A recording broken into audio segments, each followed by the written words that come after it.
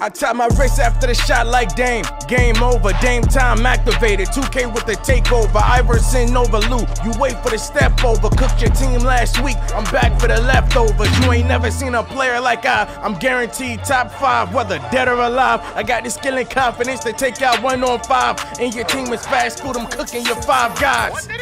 Once you step foot on that court, it is eye for an eye. Don't blink. When I run into that paint, you might die. And I'll snipe your teammates before they try to revive. Me and Ja Morant verticals higher than G5.